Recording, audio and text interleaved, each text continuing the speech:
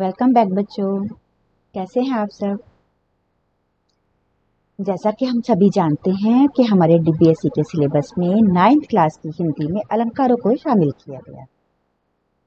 तो हम पिछले वीडियोस में अनुप्रास अलंकार, यमक अलंकार, उपमा अलंकार और रूप रूपक अलंकार कर चुके हैं। आज हम करेंगे मानवीकरण अलंकार। देखेंगे कि मानवीकरण अलंकार क्या होता है। तो जहाँ चेतन, अचेतन अवस्था को मनुष्य के क्रियाकलापों से जोड़ा जाए, वहाँ मानवीकरण अलंकार होता है। यानी कि जब किसी ऐसी चीज़ से, किसी ऐसी वस्तु से, जो कि मनुष्य नहीं है, हम मनुष्य जैसा व्यवहार करवाएँ तो इसे हम मानवीकरण अलंकार कहते हैं। यानी कि किसी ऐसी चीज़ का कि जो मानव नहीं है, कविता में मानव की तरह उससे व्यवहार करवाना, उसको मानव कर देना मानवीकरण अलंकार है। परिभाषा है इसकी, जहाँ काव्य में चेतन, अचेतन अवस्था का संबंध तथा क्रियाकलापों को मनुष्य के व्यवहार से जोड़कर प्रस्तुत किया जाता है, वहाँ मानवीकरण अलंकार होता है। जहाँ बेजुबान में जान होने का संकेत मिले, वही मानवीकरण अलंकार की पहचान होती है। अब इसके कुछ उदाहरण हम लोग जब सुनेंगे, समझेंगे तो हमें यह और क्लियर हो जाएगा। जैसे दिवसावसान का समय। मेघ आसमान से उतर रही है। वह संध्या सुंदरी परी से धीरे धीरे धीरे। दिवसावसान का मतलब है दिवस प्लस अवसान। दिवस का मतलब दिन, अवसान का मतलब समाप्त होना। दिन के समाप्त होने का समय, यानी कि शाम का समय। दिवसावसान का समय। मेघ आसमान से उतर रही है। मेघ से आसमान से उतर रही है। वह संध्या, सुंदरी परी से। वह संध्या यानी वह शाम, सुंदरी परी जैसी, धीरे धीरे धीरे। यहाँ पर हमने साँझ को, शाम को, संध्या को सुंदर परी का मनुष्य जो है मनुष्य के रूप में उसका व्यवहार कराया है कि वो परी की तरह धीरे धीरे उतर रही है आसमान से शाम के समय। तो ये मानवीकरण अलंकार हो गया। एक और है? अचल हिमगिरी के हृदय में आज चाहे कप हो ले, या प्रलय के आंसुओं में मौन अलिखित व्योम रो। यानी कि जो हमारा जो हिमगिरी है, जो पहाड़ है, उसके हृदय में आज चाहे कंपन हो ले, या फिर प्रलय के आंसुओं में मौन होकर के आसमान रो ले। अब आसमान रोता नहीं है। आसमान से तो बारिश होती है ना?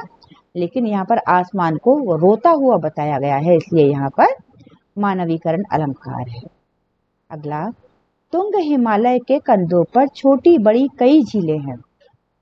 यहाँ पर हिमालय के कंधों की बात की गई है। पहाड़ के कंधे नहीं होते हैं बेटे, मनुष्य के होते हैं, इसलिए हिमालय के कंधों की जब बात कही गई है, यानी कि हिमालय को मानव बता दिया गया है और उसके कंधों पर झीलें होने का इशारा किया गया है कि उसके कंधों पर हैं वो झीलें इसलिए ये मानवीकरण अलंकार है।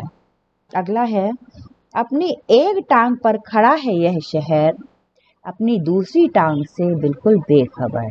शहर को दो पैरों पर खड़ा हुआ दिखा दिया गया है, जो कि एक पैर पर खड़ा हुआ है और उसे अपने दूसरे पैर की बिल्कुल भी खबर नहीं है। शहर को इंसान के जैसे पैरों से तुलना की गई है। शहर की, यहाँ पर यह मनुष्य के रूप में बताया गया है, इसलिए ये मानवीकरण अलंकार है। अगला, हेम कुंड ले उषा, सवेरे भरती बुलकाती सुख मेरे, मंदिर ऊंगते रहते सब जग कर रजनी भरता यहाँ पर हेम कुंड ले उषा उषा यानी कि भोर, सुबह सुबह, हेम कुंड ले करके बुलकाती सुख मेरे मेरे सुखों को बुलाती है और मंदिर जो है, वो ऊंगते रहते हैं जग कर रजनी भर तारा। रजनी भर तारा, यानी कि सारी रात तारों की तरह से भरी रहती है और मंदिर ऊँगते रहते हैं और उषा जो है सवेरे सवेरे मेरे सुखों को बुलकाती है। अगला, गुलाब खिलकर बोला, मैं आग का गोला नहीं, प्रीत की कविता हूँ। गुलाब बोला, खिलकर बोला।